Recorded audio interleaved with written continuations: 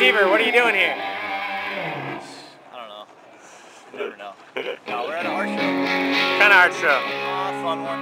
Why is it going to be fun? Uh, for boobs. I like boobs. It's for breast cancer. What are you going to be doing here tonight with your art? Uh, we're gonna do a little live show, a little painting collaboration on this board right here. What kind of what kind of board? What, what kind of painting stuff are you doing? Uh, little mix, urban, graffiti pop, me, Coper, and Pace One. What's your name again? Hey, hey, check, check. What's that? Two, two. What's your name again? Two, two. Hey, Uh, hey. me, Scott. Okay. One, one, two. This one? One. That little pink nose on that? I like that.